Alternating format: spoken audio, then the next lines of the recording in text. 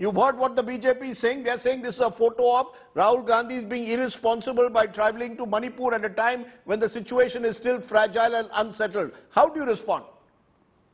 Um, Rajdeep, just a week back or four days back, what did Mr. Narendra Modi say in the United States? Democracy is in my blood, in my vein. It is the right of the opposition leader to go to a strike-torn area. What is wrong? The Prime Minister, I must say today, shameful that the Prime Minister of India has time for everything to go and inaugurate the Vande Bharat Express after he's come back. We asked him to go before, but he, he, he refused. Now, after coming back from the US trip, he has no time to go to Manipur. Let's understand that 10 opposition parties were waiting from June 15th onwards to meet, June 10th onwards to meet the Prime Minister of India. He refused to meet. His own members of parliament, I mean, sorry, his own uh, BJP MLAs from there, eight of them came to meet him, no. 30 others came to meet him, no. None of them were given any time to meet him. And eight MLAs from uh, Manipur has given a memorandum to the uh, PMO saying that they have lost trust in the government. Their own BJP MLAs, let's understand that. They are saying that they have lost trust in the Biren Singh government. Now, what is Mr. Amit Shah doing? Mr. Amit Shah is the uh, Home Minister. He went there, he's unable to. What we are asking is, why is the Prime Minister of India who has time for everything, not spoken a word on Manipur. Let's understand that. More no, I asked you about I asked you about Rahul Gandhi. I asked you about Rahul Gandhi going to Churachandpur at a time when the situation there is unsettled. You're telling me why hasn't the Prime Minister broken his silence? No, is that the Rahul argument? Gandhi, Rahul Gandhi should go because he nothing has been. He's a senior leader, senior opposition leader, and my leader has got empathy. He's heard that more than 100 people have died. More than 60,000 are in 300 relief camps and the fighting is still going on. So what is wrong in an opposition leader going there to see things? And that's why he wanted to drive. And did you see what the women wanted to do there? Look. Yeah, just a minute, ma'am. Just a minute, ma'am. Now, you, you've had your point. Uh, Shama Mohammed, Shama Mohammed, you've made your point. Just a minute now. No, no, now let's go to uh, Shama Mohammed, one minute. Let's go to Rajat Sethi. Rajat Sethi, we are, in a, we are in a situation where more than 60 days after the violence broke out on the 3rd and 4th of May, the government of India has not, the Prime Minister has not broken his silence. BJP guests don't even want to come to television panel debates on Manipur saying we will not speak on Manipur. Amit Shah ji went for three days from the 28th of May to the 30th of May. Another fresh round of violence broke out on the 2nd of June after the Home Minister was there. Is there a sense that the centre and the state government at the moment are struggling to handle Manipur and don't want the reality of Manipur to come out? So if Rahul Gandhi goes there and tries to provide a healing touch, why does it become a photo op? Rajdeep ji, there are at least three or four questions that you've bundled together. Allow me to, you know, go through them individually.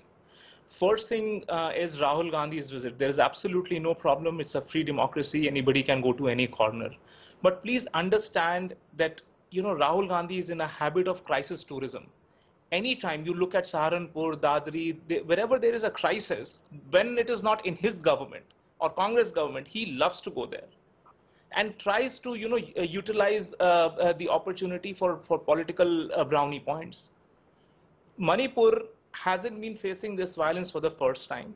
In 2017 when the congress chief minister 15 years chief minister Ibobi singh brought in certain rules certain laws uh, by the name of mlr law the entire tribal population both the kuki and the naga went ahead and blocked the, the national highways for 150 days people in the valley did not had food, they had no access to medicine, no access to petrol.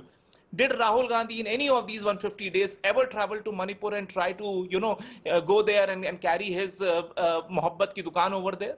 Did he attempt to even break the, uh, you know, the logjam that was there when Ibobi Singh was the chief minister? No, I'll, I'll, I'll, I'll, raise that with Shama Mohammed, but you're not answering. All, why is the government no, so silent? Rajdeep, all Why is the is government, Rajat Sethi, Rajat Sethi, the Prime Minister speaks on the Gujarat earthquake. Please allow me The, to... uh, on the Gujarat cyclone, It Uh, the Prime Minister cannot be a speaks on Gujarat cyclone, me a minute. inaugurates Vande Bharat Express, doesn't go to Manipur or speak on it. Allow, allow me a minute. Yes, please. Sir, Rahul Gandhi was attempting today to go to Churachandpur via the Tidim line which goes through Bishnupur. Do you know that the SP, the Superintendent of Police over there was pleading before him that sir please our security forces are in, in live operations. Please don't disturb them. Because if there is a vip movement we are getting inputs that there is an ied a chance for an ied blast.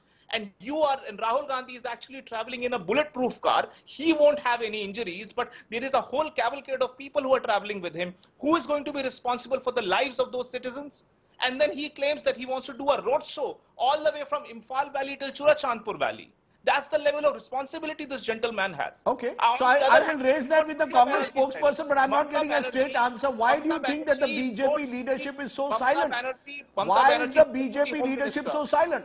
Ma- Mamata Banerjee wrote to the Home Minister and asked for permission, asking her that is this the right time to go? Clearly, the MHA said that no, it's not the right time, and she responsibly withheld. That's the responsibility of a mature leadership, mature political leadership, not trying to make uh, brownie points when the situation is. You made that point. I, Yes, you want a quick answer to the question I keep reiterating? Why is the BJP leadership so silent? Opposition MLAs come to Delhi, they are not given an audience with the Prime Minister. The Home Minister holds one all-party meeting after 55 days.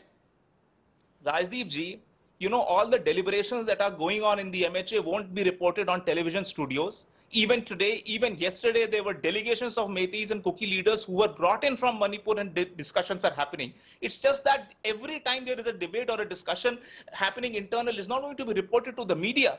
I'm telling you this, there are serious talks, but these are not political issues in the sense that political parties shouldn't be brought in at this stage. There is a whole apparatus I'm of sorry. Ministry of Home I'm Affairs sorry. which is trying to reach? No, no, out one minute, Shama Mohammed, please let him which complete. is trying to reach out to both the parties. You need professional negotiators to come in and bring a common ground between the two communities. You need conflict, professional conflict managers to handle this. Allow the bureaucracy, the senior most people Okay. who have actually worked there. What does Rahul Gandhi know about Manipur? Answer me that straight question.